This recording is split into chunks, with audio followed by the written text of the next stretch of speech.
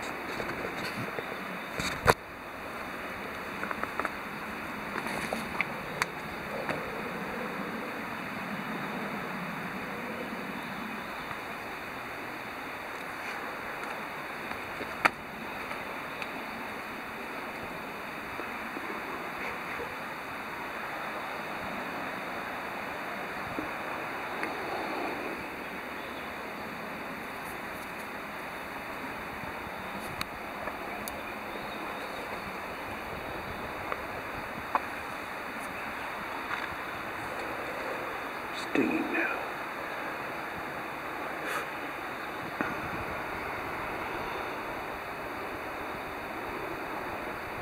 Balancing.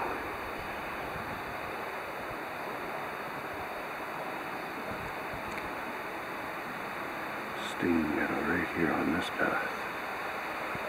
Okay, still have some berries right here and stuff, and the trees aren't torn down. So I'm figuring there's no bear hanging out close by here.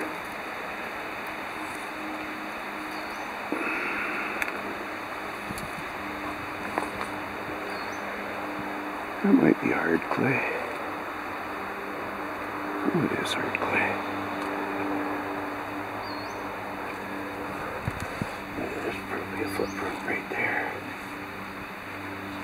Partial one left behind that I just stepped on.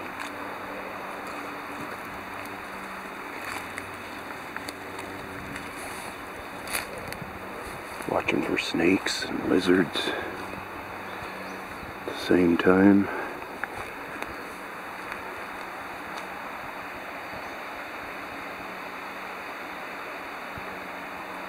It's always fun to uh, try to get a lot of life.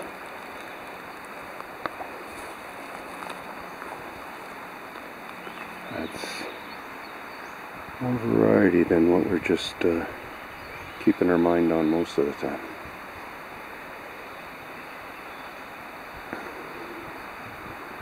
Always trying to figure out a way to clear my head, make sure I'm thinking sensibly.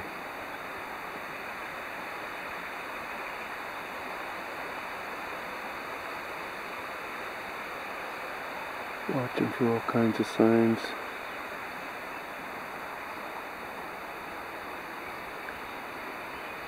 Out here we don't have to worry about coyotes much. They've kind of disappeared to some extent. But um,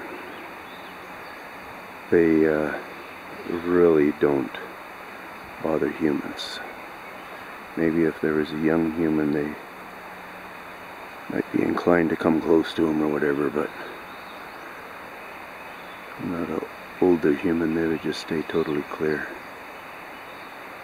Just a little bit of zooming.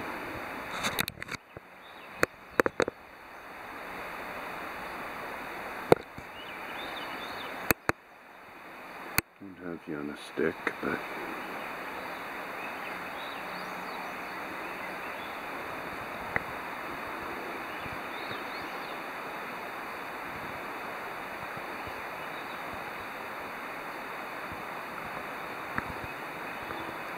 So realize obviously that guys, where you know there's to be shade, go ahead and zoom in amongst that shade.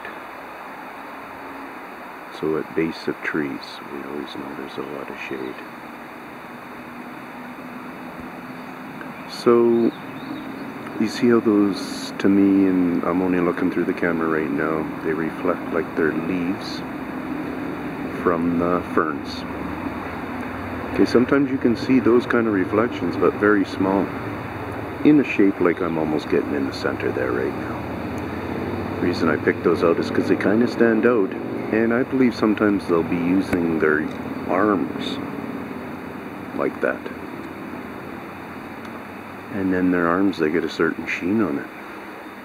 Maybe even their, they give a little stroke of their hair on their arms or something to um, help give a certain look.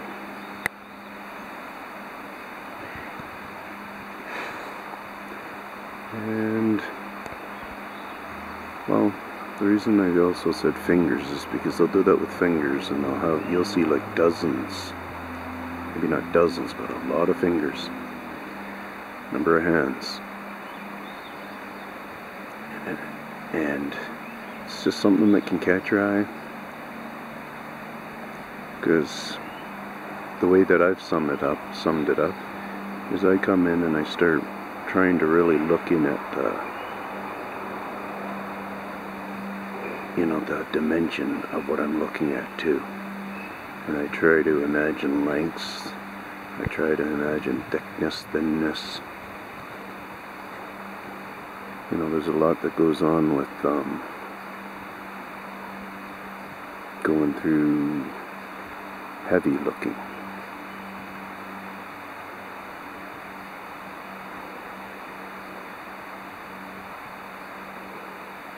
people are pushing me a little bit to push hard on my videoing and stuff like that. And It's kind of like I'm not doing a lot of it. I'm doing just mostly my own walking. Because look at how you have to stop and do all this and try to bring it in for the people and stuff. Give them a bit of a show.